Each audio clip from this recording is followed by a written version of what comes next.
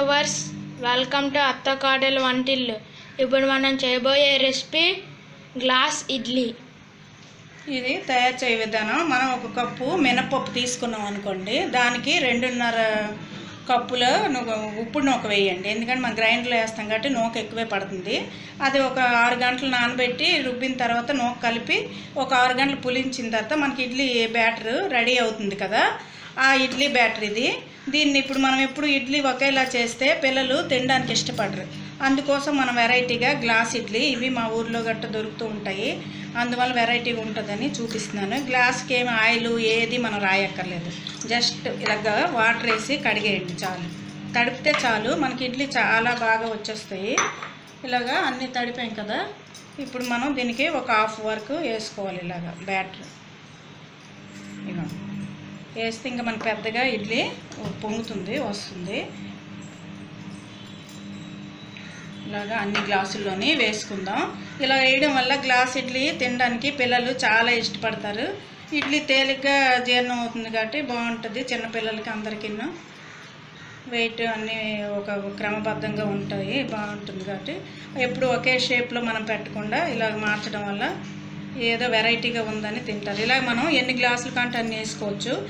ఈ మిగిలింది ఒక ప్లేట్లో వేసి ఇటు మీద కూడా పెడదాము చూపిస్తాను. ఇప్పుడు మనం ఎలా పొయ్యి మీద పెట్టి చూపిస్తాను. ఇప్పుడు పొయ్యి మీద ఇదిగోండి గిన్నె మన ఇడ్లీ పాత్రే పెట్టుకోవచ్చు. ఏదైనా పెట్టినా పర్లేదు. ఇందులో ఒక గ్లాసున్నర వాటర్ వేయండి. వేసిన తర్వాత మనం వేయించి వేసుకున్నాం కదా గ్లాసు. బ్యాటర్ వేసిన గ్లాసులన్నీ ఇలాగా కరెక్ట్గా పెట్టేసుకోవాలి. ఎన్ని మనకి అవసరమైతే అంత ఈ గిన్నెలో పడినని పెట్టుకోవాలి. దీని మీద మనం ఇంకా మిగిలిన బ్యాటర్ ఉంది కదా అది ఇలాగా ఈ ప్లేట్లో వేసాను. ఇది కూడా దీని మీద ఇలా పెట్టేసుకుంటే అన్నీ కలిపి ఒకేసారి ఉడికిపోతాయి. ఇది పది నుంచి పన్నెండు నిమిషాలు ఉడికిస్తే చాలు.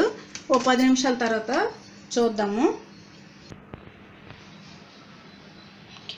ఇప్పుడు పన్నెండు నిమిషాలు అయింది చల్లారిన తర్వాత ఒక రెండు నిమిషాలు చల్లారాక మనం ఓపెన్ చేసుకోవాలి. ఓపెన్ చేసి చూద్దాం. ఇదిగోండి. ఇలాగా మనకు చూసారా? ఎంత కరెక్ట్గా తయారైందో. ఇప్పుడు ఇడ్లీ తీసి మీకు చూపిస్తాను. ఈ గ్లాసులో ఉన్నవి చూడండి. ఇలాగా మనం చాక్తో ఇలాగ అన్నారంటే చూసారా? వాటరే వేసాం అడుగుని మనం. ఆయిల్ ఎటు రాయక్కర్లేదు. ఇంత నీట్గా వచ్చేస్తుంది. ఇది చూసారా? ఇలాగా చాక్ తోటి ఇలాగన మనం నూక కరెక్ట్గా వేసుకుంటే మనకి ఇడ్లీ ఎంత చక్కగా వస్తుంది. మీరు కూడా ఈ వెరైటీ చేయండి. ఐస్ క్రీమ్ లాగా ఉందంటుంది మా మనవరాలు చూసారు అందుకోసమే పిల్లలకి ఇలాగ అట్రాక్షన్గా ఉంటాయి కాబట్టి మనం ఇలాంటి ఇడ్లీలు చేసి పెడుతూ ఉండాలి. తను ఐస్ క్రీమ్ లాగా ఉందంటుంది షేప్ ఇలా ఉంది కాబట్టి. ఇవి ఇలా చేసాం కదా ఇవి కూడా మనం డైమండ్ లాగా కోసామనుకోండి పిల్లలు. ఇష్టంగా తినడానికి ముందుకు వస్తారు లేకపోతే ఇడ్లీ పట్టుకొని మనం వాళ్ళ వెనక్కి తిరగాలి. ఈ షేప్ ఇవి చూసి బాగున్నాయని వాళ్ళే పెట్టమంటారు. చూసారా? మా మనవరాలకి ఆ షేప్ చూసేసరికి ఐస్ క్రీమ్ గుర్తొచ్చింది. ఐస్ క్రీమ్ లాగా ఉన్నాయి నానమ్మ అంటుంది. చూడండి ఎంత స్మూత్గా ఎంత బాగున్నాయి చూసారా? నూక మీరు అలా వేసుకోండి. ఒకటికి రెండున్నర వేసారంటే చాలా బాగా వస్తాయి. తినేస్తావా? ఇంకా నీకోసమే. ఇలాగా మనం అన్నీ ఈ డైమండ్వి కూడా తీసి ఇలా పెట్టండి. ఎప్పుడు ఒకే షేప్లో మనం చేసుకోకుండా ఇలా చేసి పెడితే పిల్లలు చాలా ఇష్టపడతారు. చూసారా ఎంత బాగున్నాయో?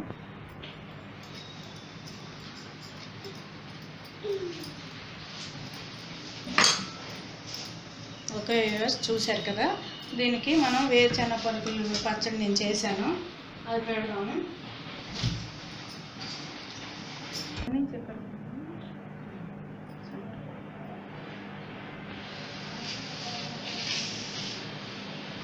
ఓకే. మీకు ఏ చట్నీ నచ్చితే దాంతో చేయండి. నేను చె- పలుకులతో పెట్టాను. ఇలా సర్వ్ చేయండి. చాలా బాగుంటుంది. పిల్లలు ఇష్టపడతారు. okay thank you for watching share చేయండి అందరికీ